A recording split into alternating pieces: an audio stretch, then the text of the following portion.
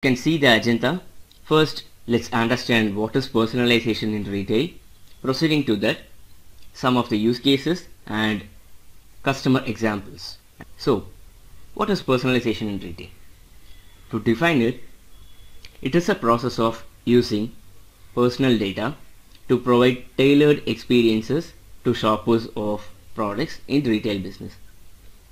To shorten the phrase, it is simply creating offers that are more personal and relevant for specific customer. Okay, so providing just-in-time offers and serving customer based on his needs and behaviors all comes into this picture. Personalized offers are not about general common things like Adi Tallubadi, Diwali offer or so. It's purely tailored for one or a group of customers in a specific region or having similar behavior pattern. So another important context in personalization is it's not about targeting new customers. It's about making more business from existing customers. So I hope you would have got an idea about personalization. And with this slide, what do you think? The level of adoption of implementing personalization in their retail business gets increases year by year, right?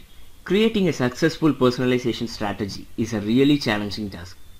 This example tells about providing personalized product list to a specific set of customers when they view the website or mobile app. You can see this example to be awesome, right? But just think how many things are involved behind this from gathering the data, processing, finding the result, fitting the result into that application and making sure that the specific set of customers are able to view that specific set of result and the list goes on. There is no other go. All the retailers are in their bottleneck to apply personalization as best as they can. So a study says 30% of sales made online are returned. It's really frustrating, right? Both for customers and retailers as well. Also, it's a costly factor for retailers to consider the returned goods, make it back available in the inventory and make it back available for selling and so on so. So what happened is retailers started thinking effectively and they started to increasing their effort to make customers find the right product at right time. And one more thing, all do personalization, but what's special in retail? Even if you go to a car showroom, they'll uh, greet it with a smile, they ask your requirements, they ask your budget, they provide beautiful suggestions and uh, uh, whatever the style you need, whatever the cost you need, and what's what's your requirement based on that they will be suggesting you and all those things. But what's special in retail industry? As you can see, retailers often have countless products and not just one brick and mortar location. For example, if you take Walmart or uh, uh, Target, whatever it may be, they have uh, many number of stores around the city in different places which will be having different categories of products and different types of customers will be buying, right? Apart from that, they will be also having online business as well. That is via website, they can buy from website or from mobile app and so. There are some specific challenges as well. For example, in clothing, size is the biggest challenge, right? Because if we are going to a brick and mortar location, we will be choosing our apparel, we will be trying out, and if we are happy, we will be buying. But in online, it's the biggest challenge, right? So all these are being addressed with personalization. So now, apart from some traditional examples like sending an uh, discount offer notification on customer's birthday and so and so, we can see few more examples, use cases which has successfully turned as sales. So this you would have notified in many uh, many times uh, in, in your own experience itself. If the selected product is out of stock, what happens? Normally, an out of stock product page is a guaranteed bounce, right? Rather, we can have a goal to keep the user from abandoning the site. the one way around is suggesting for recommendation based on that particular product. Okay. So this is just one way around to uh, turn turn up a missed opportunity. And you can retarget your customers before they go. A little extra discount on a relevant product that your user is considering may be exactly what they need to push past checkout, right? So even if this you would have noticed in uh, your own personal experience itself. And next, you could personalize the homepage and navigation while the customer is clicking an advertisement link or a landing page link. Okay, so this means the ad link should not only take the visitor directly to the country page from which they are shopping, but also to the exact category and the exact six they have shopped for most often. Okay, so this well, what, have, what what do you think uh, will happen? So customer will be directly visualizing uh, their frequently bought product, their their mobile app or website. So they they'll easily try up to buy something. Okay, so a research shows that more than three quarters of people have bought something they have seen on social media. That's good news for retail, right? Generalized posts are common. That is posting some product and uh, trying to make it visible to the target customers and all those things. And also, but do post it such that it is easily shoppable. For example, in the image you could see the glass, the shirt, the bag, everything is being showed apart from there is a hyperlink as well. If a user wish to purchase that, just he'd be clicking that. And this is also an important. This is about leaving the recommendation customizable by consumer itself. Practically, all the time, customer won't be liking for recommendations, right? So in our mobile app, if uh, recommendations are keep on popping up, what we'll be getting irritated sometimes, right?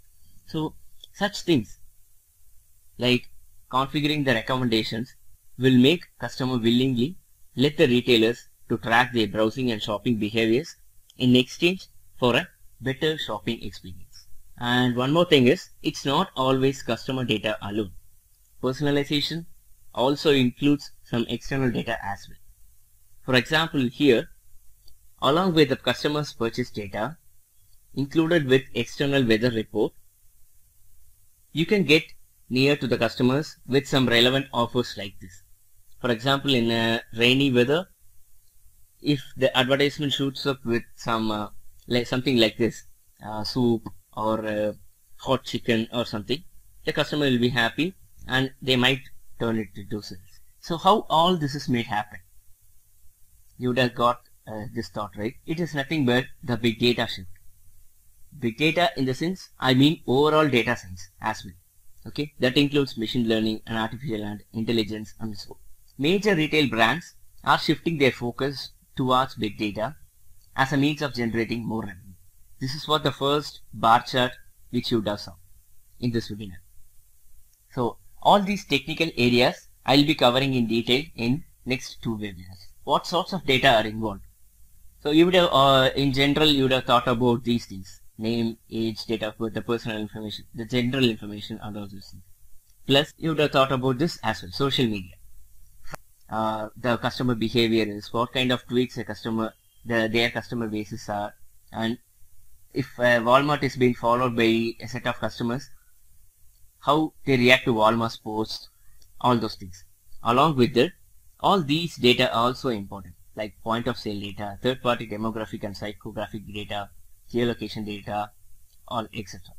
So based on these set of inputs, we'll be looking into customer examples in the upcoming slides. So this is a simple process. So all the data will be stored in a big data repository. The data will be processed, cleansed, integrated, and all those things will be done. And via some business analytics software, the trends will be identified and with that trends, some actionable data will be produced. Okay, this is the whole process. As all of you know, this can be achieved with many open source software like Hadoop, Spark, ML libraries, etc. Or in a simple way, this can be achieved via SaaS products as well, like Azure Data Lake Analytics, Anomaly Detector, Azure ML Studio, Azure AI, Azure ML, and so on. So next, let's see some customer examples. So McDonald's has achieved this personalization uh, and turned into a biggest revenue. So they did a partner with a company called Plexure. It's a mobile app analytics solution. What they did is, if the customer is near of any of the McDonald's store, the mobile app will analyze the location and suggest products, offers available in that nearest store.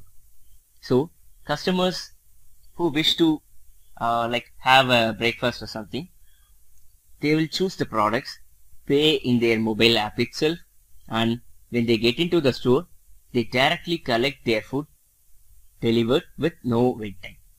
This is the value exchange where both customers and the McDonald's get benefited. As a result, McDonald's also able to get a lot of telemetric data about their customers' purchase behavior. One such example is a lot of females are ordering mango smoothie plus Melano when the weather is hot. This is cool, right? And there is one more example. Plexure worked, worked with 7-Eleven to develop the fuel price lock app. 7-Eleven has a chain of gas stations around Australia. With location-based data, customers will be able to find the best priced fuel near them and lock in that price for the next 7 days. If the price goes up, drivers pay less at the pump. If the price goes down, then drivers still pay the lower price, meaning 7-Eleven customers get great service. On the other hand, 7-Eleven gets a great customer retention right? So always they will turn up to and search for the stores nearby, obviously for 7-Eleven alone. Next example is Coop Italia. It is a retail department store. They went beyond mobile. What they had is they had sensors around the stores to know which products a customer points at, looks at, explores, picks something and more. So based on that, they provide offers based on the products they were integrating with. Most important is they do suggest only if the customer didn't purchase that product. So this is a different example with Lewis. Lewis provides different choices of furnishing kitchen of their own. So they identified a customer problem. That is, as a customer, if I am designing my kitchen, I am unable to articulate what style I like. There is always some missing piece. So this is what uh, the problem. To solve that, via augmented reality, they created a holographic representation of their selected kitchen style where customers could adjust finishes and options instantly. This is cool, right? And last but not least, Starbucks also has showcased very detail in the in the last Microsoft Build. They have developed their own analytics app with a with a baseline as Microsoft Stack, suggesting most selling products based on different criteria for store managers and great offers for customers. Walmart did a prediction of top selling products. Once the news was out that there is going to be a hurricane in one week, they did this analytics. And out of the result, it's all about ready to eat foods as well as bottled water, batteries, fuel containers, bread and so on.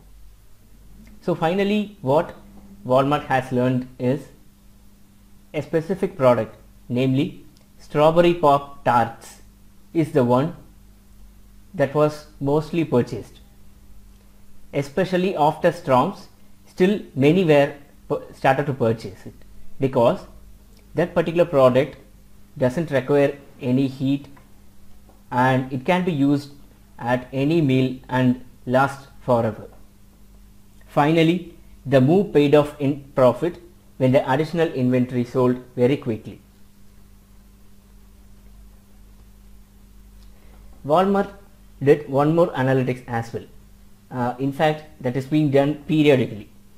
That is, they do periodic analysis about online shopping behaviors of people located in that area. For example, if you consider an area such as North Carolina, uh, I mean state, all the uh, all their consumers purchase behaviors they will be analyzing in that North Carolina area. So out of the results they, they do get, they do arrange the racks and uh, they do rearrange uh, the, their inventory, they restock the inventory accordingly.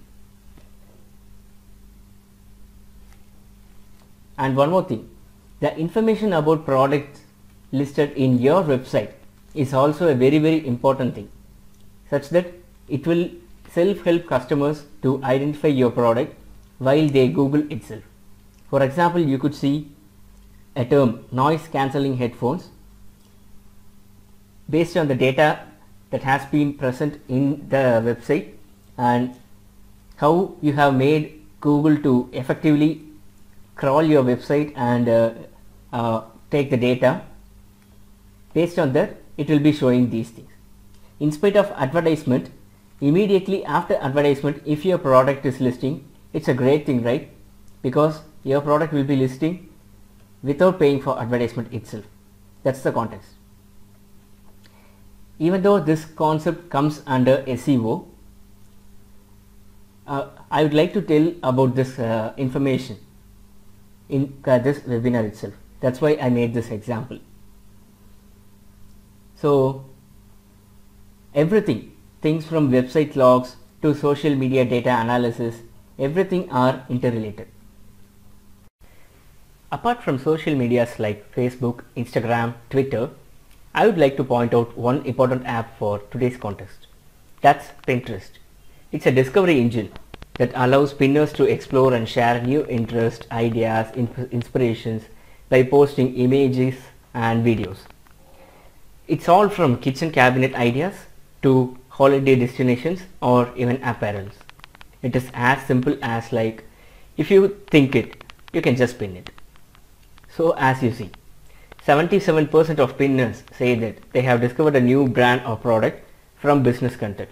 It's cool, right? So Hence, retailers should make sure how best they can use such apps for their business growth. Now let's see a video that showcases how Microsoft is enabling the next generation of empowered retail where Pinterest also takes its part.